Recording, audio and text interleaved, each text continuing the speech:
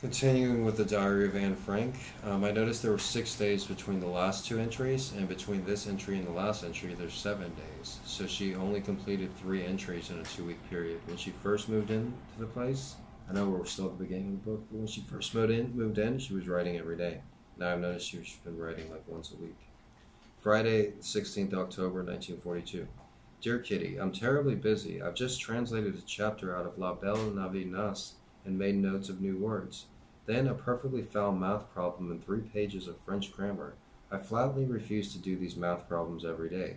Daddy agrees that they're vile. I'm almost better at them when, than he is, though neither of us are much good, and often we have to fetch Margot. I'm the furthest of the three of us in shorthand.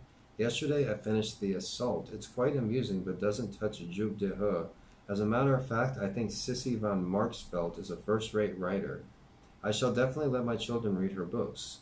Mummy, Margot, and I are as thick as thieves. It's really much better. Margot and I got, the, got in the same bed together last evening. It was a frightful squash, but that was just the fun of it. She asked if she could read my diary. I said yes, at least bits of it, and then I asked if I could read hers, and she said yes. Then we got on to the subject of the future. I asked her what she wanted to be, but she wouldn't say and made a great secret of it. I gathered something about teaching. I'm not sure if I'm right, but I think so. Really, I shouldn't be so curious. So um, her sister Margot had a diary as well. The diary of Margot Frank.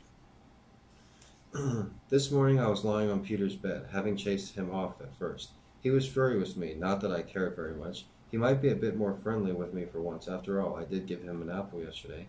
I asked Margot if she thought I was very ugly. She said that I was quite attractive and that I had nice eyes. She does have very nice eyes. Rather vague, don't you think? Till next time, yours, Anne. Diary Anne Frank. If you haven't already, click the thumbs up button, hit the subscribe button. I'm going to build this channel. I'm going to get a microphone, a camera. And it's going to be me still, but it's going to look a lot better. So help me build the channel, hit the subscribe button. Thanks for watching.